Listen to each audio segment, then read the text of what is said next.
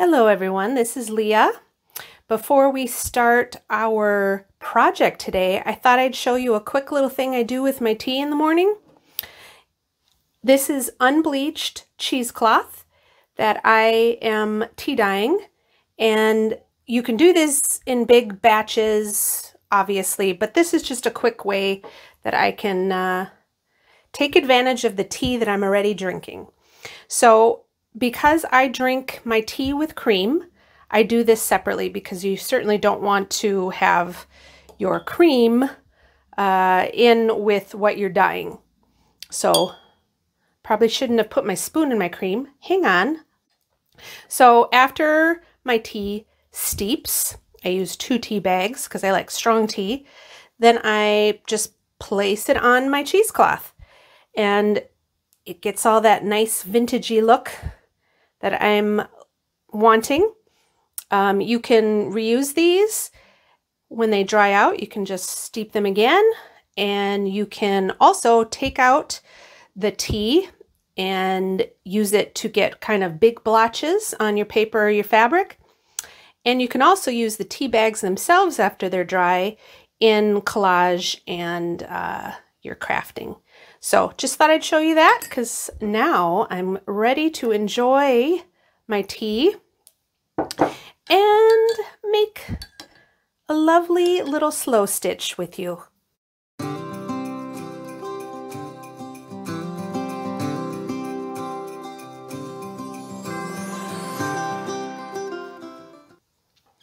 So these three are done with their trunks and their branches. And I think they're lovely in their texture. And all that is, is couching. I just took fibers, placed them down, and did embroidery floss or some uh, crewel wool yarn you can use, anything, any kind of thread. And it just helps you fatten up your texture. and that was so easy. I mean, there was zero skill there, just stitching it down to make the shape that I wanted. So I'm happy with those. And now it's time to move on to some of the other elements I've decided against the sentiments that I was going to put in. I don't think it'll need it. I think that we're going to stick with beads, buttons, um, charms, the burlap for the for this down below, and um, a few more little stitches here and there. I think that's all we'll need. So the first thing I want to do is kind of figure out, I'll go back to this first one that I worked on and remind you of the design we're working on. So we need to decide, or I need to decide. I always say we. I think I got that from my husband because all the things that he ever does, uh, he always says we because he's a very humble dude. And uh, so it's hard for him to take credit for anything he's ever done. Oh, anyway, so I have, but it is we if you guys are doing this with me. So uh, I need to figure out what I'm going to do with the leaves. So we have seven leaves here and I took, I looked at my trims and this trim that I have, again, this is tea dyed, um, has these little things here that look like leaves and they're the exact size that I want. So instead of embroidering, embroidering, is that a word? Embroidering. It has to be, right? Isn't that funny how sometimes words do not sound right to your ears? Huh.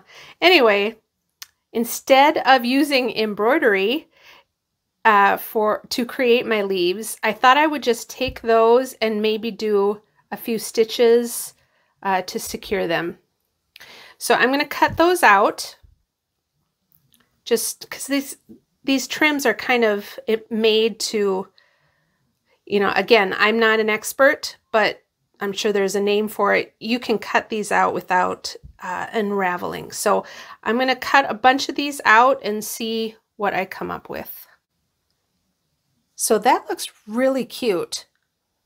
I like the size and I like that it adds texture as well as a different color contrast.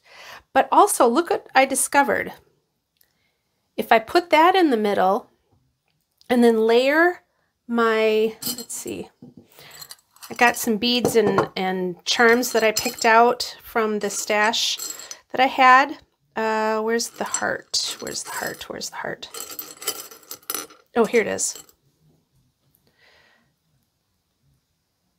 It kind of pops it out better.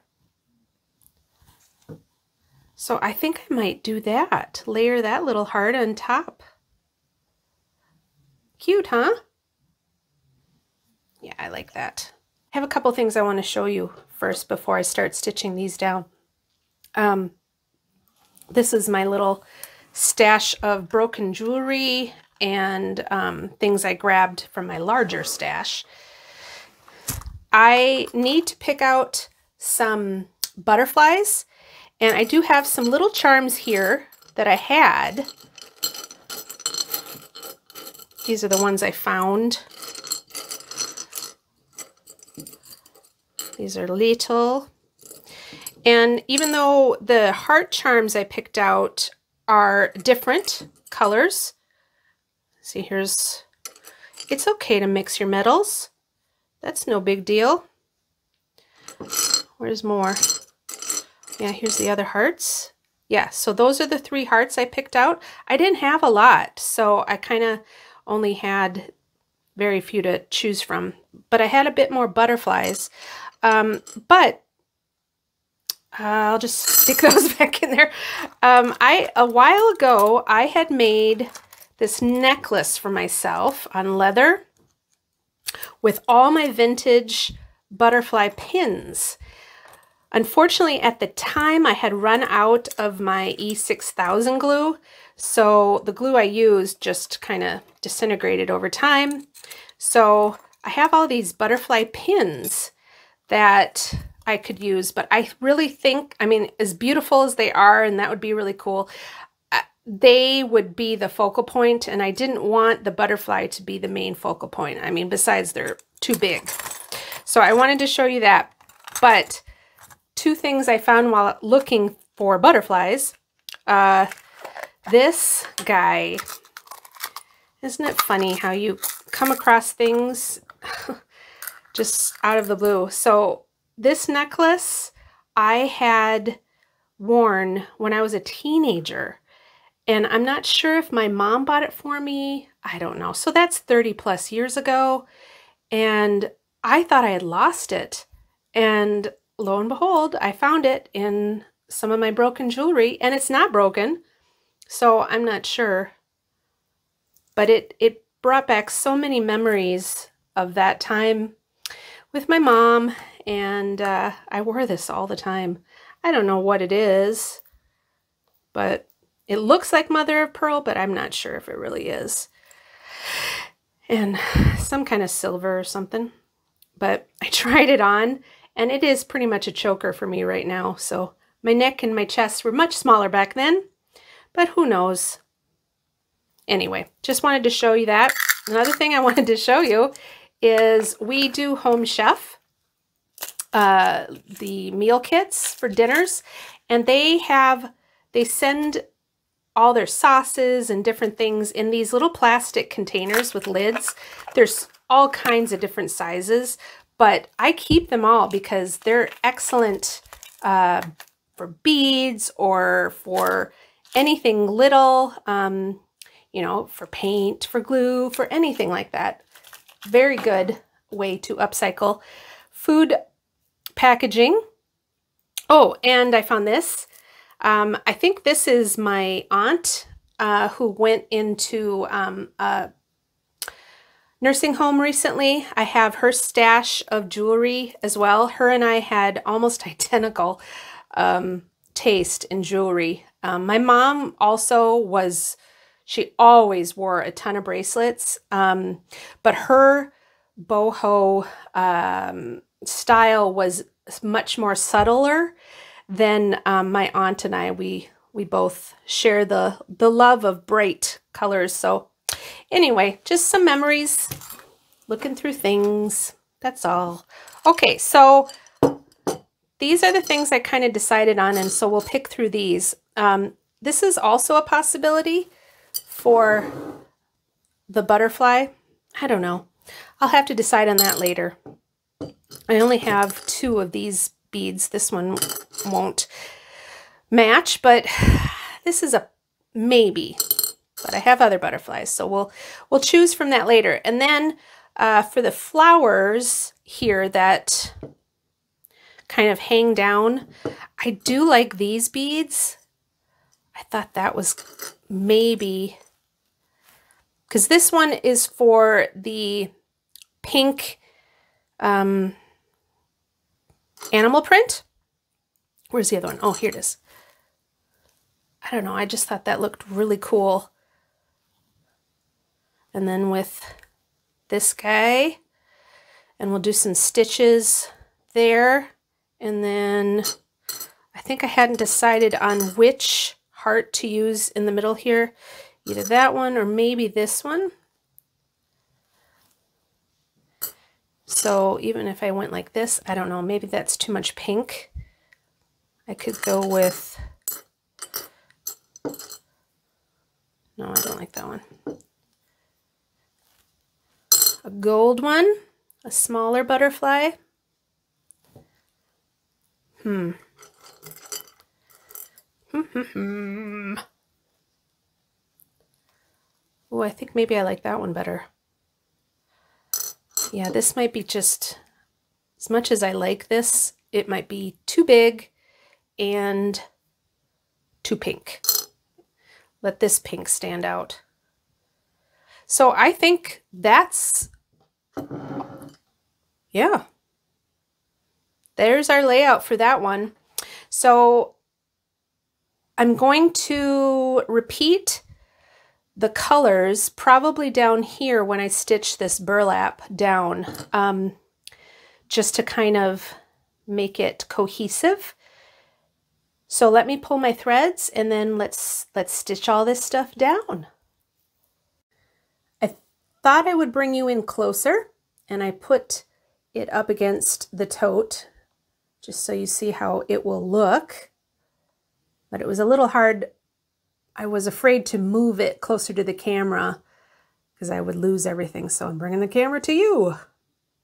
So yeah, I think that's just the touch, just the little bit of pink and everything else neutral. I think that's the right size butterfly and the right heart for this particular one. So let me get stitching. Thank you.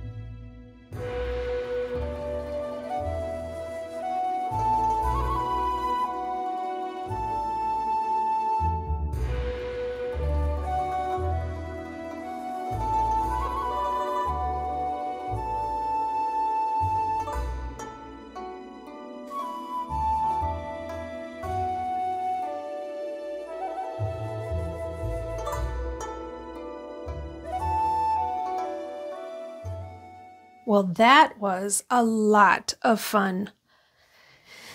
And I think it turned out very much how I wanted it to. All this texture in here, so easy.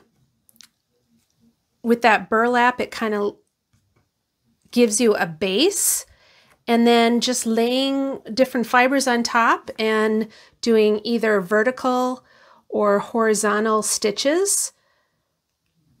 And I just kind of used all different kinds of little fibers there that had fun texture. And I think that the little metal charms really give it a special bling as well as these really cool beads here. And to me, it looks like a weeping willow. We have a lot of weeping willow trees around here in Lake Country. And uh, we only have one on our property.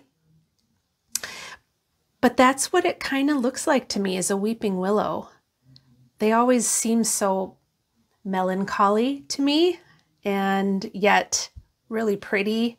They look beautiful in the breeze. As you saw, I did not use any special stitches for these little leaves.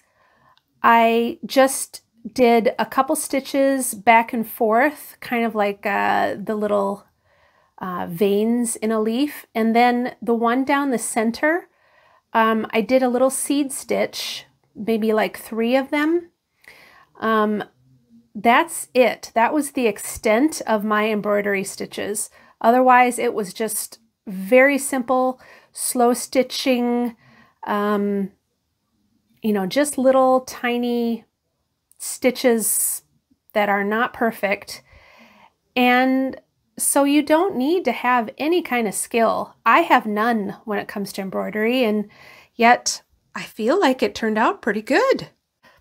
So I just trimmed up to that batting and uh, that one is ready to go and make a pocket. So my homework before next video is to finish the other two and I'm going to do the exact same thing just with, you know, subtle changes in, in the fiber colors and the beads and the charms. Um, so if you're following along with me, I will be back in just a day or two to show you then. I'll have all three of these done and we will make the pocket. And I have a couple ideas because I'm not using machines. So on how to attach it to the totes.